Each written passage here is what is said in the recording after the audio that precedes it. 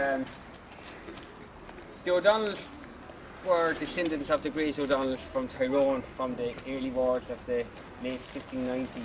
That uh, again against the British, the failed rebellion. They were they were all forced out to Ulster, and the leaders were sent far away in the Flight of Earls, where they went off to Spain and then to Europe. Um, O'Donnell um, bought these estates, built this house, and with them was a very important ancient manuscript called the Cathach. Uh, it was an ancient book that is that they would carry into battle. and they believed if they brought this book with them into battle, it would guarantee them victory. The book, part of it dates back to 560 AD, and it's had some of the dams written by um, St. Columcille of Iona. Um, apparently he was of the O'Donnell clan himself and was a prince and he became a monk and went off to Iona. A local rebel priest from the 1798 rebellion, Father Manus Sweeney.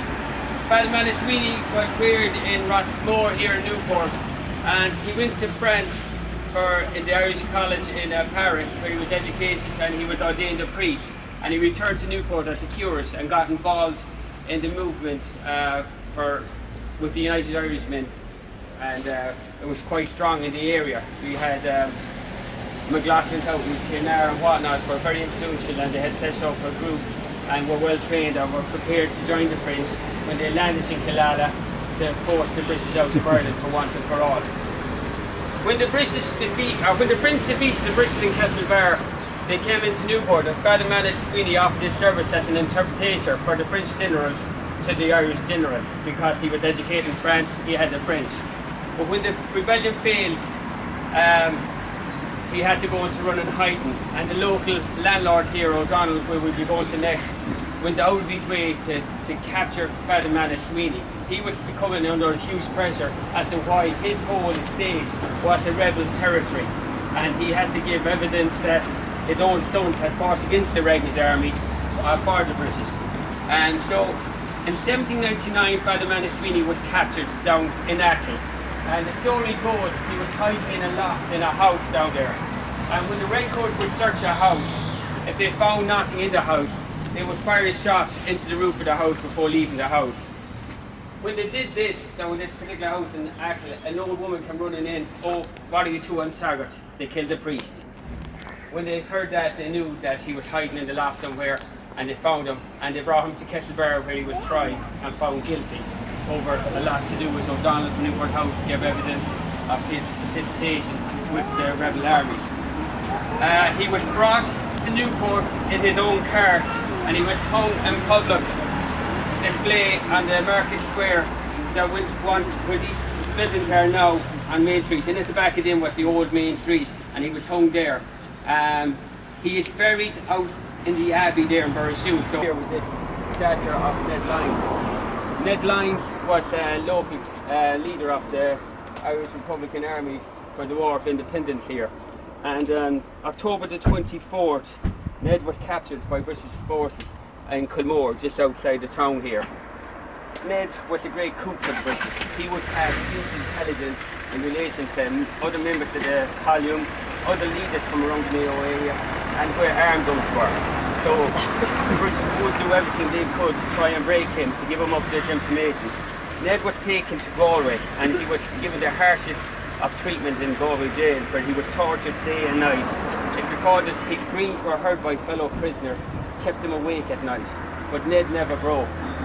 Nothing more was heard from Ned after that for a long time until the truth came, where another local man, Michael Kilroy, he became leader of um, the West Mayo Flying Column uh, later on in the war, and he set out to look to find where Ned was taken to, and he found him, found him in an asylum in Dublin.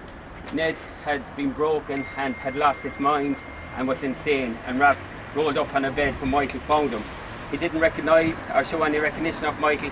He just stayed in a ball on the bed and um, Kilroy noticed that all his fingernails had been pulled out and um, Ned passed away a few years later at the age of 24 or October 20, at the age of 28 on October the 24th, 1924. Um, Ned also had a brother who was badly beaten up by Black and Tans a few years later.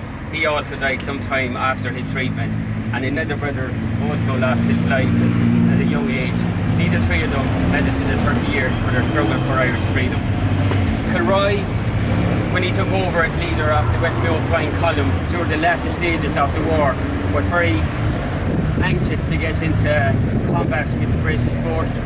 And there's a lot of, he had a lot of skirmishes around the area with black and tan forces. Most notably was Kilmeena, halfway between Westport here and Newport. Um, ambush was set up there. It didn't go as planned. Uh, he was without his riflemen who had, who had sent to Newport and Westport to, to cause a bit of trouble to try and coax the towns out of their um, garrisons in Westport. And um, he was heavily outgunned and uh, they had to retreat to the mountains. A number of men were wounded, four were killed and a number more were captured. He made his way to Skerdagh, just outside the town here in Glenhest, where again after a couple of days rest there they were uh, set upon by RIC forces, but Kilroy and his officers managed to hold them off while he sent the rest of his column to escape through the mountains with local guides and safe houses. And they regrouped again, and once again they launched an attack on British forces outside Westport at Carrowkennedy, and they had a huge success. Kilroy had learned a lot of lessons as he was going on. These are the Nephin Beg Mountains, and uh, some of you might be more familiar with them being called the Wild Snake and Wilderness uh, as part of the Belly Ballycroy National Park. Um, over here to our right, we have Burring Mountain and Glenlaura and the area of Skerdagh. And this area was a haven for the rebels during the War of Independence and even after the 1798 rebellion failed, a lot of them found the mountains for refuge because they were hunters night and day. Uh, the mountain in front of us is Bucca Mountain and then in the valley below us we have Shamor and Turkle Mountain. Uh, Turkle Mountain was an old mass mountain during the penal laws. Um, there was an area near the top of the mountain on the south side of it called Logna Hafren, the valley, the hollow of the Mass, where people would climb the mountain for safety and celebrate Mass because in penal law times you weren't allowed to practice your Catholic faith. Um, then as we go in there, we go into the Glanamoo Mountains and the mountain then that's gradually going up is called Bengorm. So during the War of Independence, people in these mountains looked after Michael Kilroy and the West Mayo Flying Column. They would not have been as successful as they were without these people. Uh, they fed them, they looked after them, they gave them safe passage, they informed them when there was troops coming or whatnot, and they hid their arms for them in the valleys down there in Shamor and around. So again, I put a few words together last year, saying it was 2016, and about the people that we never celebrate who did so much for the cause of Irish freedom. It's called Forgotten Heroes. So just bear with me again. I am a proud old woman. I know not about a gun, but I bake the bread and make the stew for the men on the run. I am a tired old man. Too late has come the cannon roar. But as young men rest, I stay on watch outside my cabin door. I am a fair young maid, I march where I'm into war, and I'm prepared to fight and die for the cause we have written for. I am a fearless child, the future of our nation. Right now I have a role to play, I carry information. I am the mountain man, I walk these hills each day. I am their ears and eyes, for the rebels I lead the way. For we are a risen people, and they will never understand how we will do all we can to free our native land. So when the books are written of the heroes who fought and died, please won't you remember us, the heroes by their side. All right. Thank you. What's it called? Forgotten Heroes. Forgotten Heroes, okay.